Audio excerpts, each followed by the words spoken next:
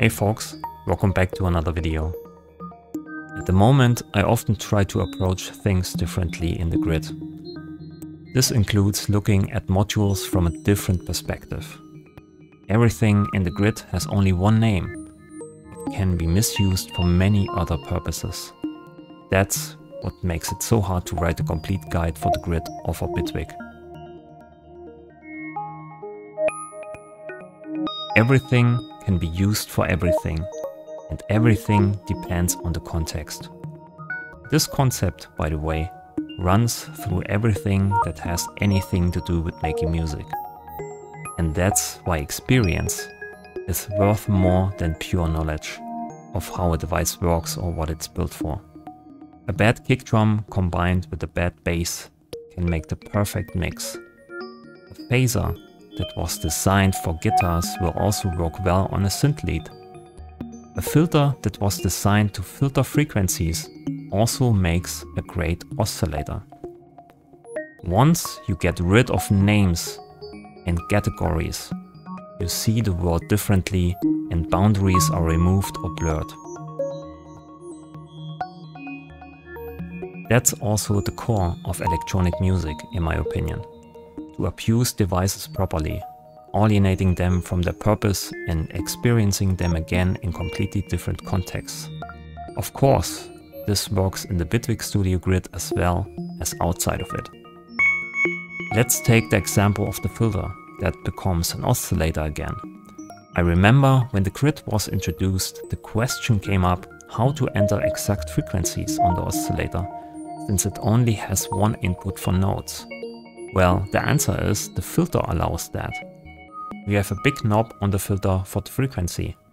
And when we turn the resonance above 100%, the filter starts to oscillate and we get a sine wave with exactly that frequency. We have a sine wave oscillator with a frequency control.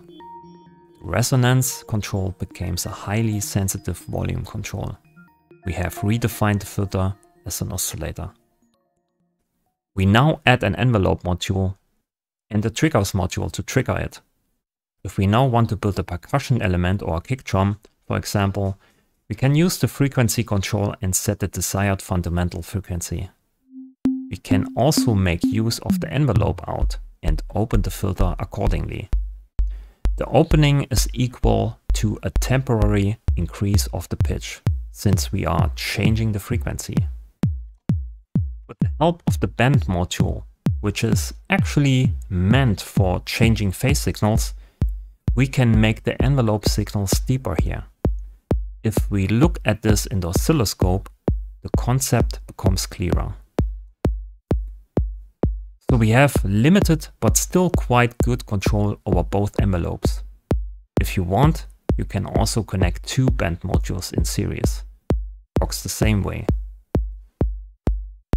But here you can see that if I had made a tutorial about the bend module, I would certainly never think of explaining it in this context. There are hundreds of these alienations. You have to find out by experimenting and trying. Knowing what the module does and how it works alone does not give you the experience of how many different uses you can make of it can even turn into the opposite and the knowledge of what the module does can block your view. You wouldn't even think of using a delay for distortion. Why would you? It's a delay and in a completely different category. Breaking down categories in your head can be a difficult thing to do, as you can see all over the world when someone drops things into the wrong bucket. Sometimes I even wish I was a beginner again that I could see things without bias. You can learn a lot even from children.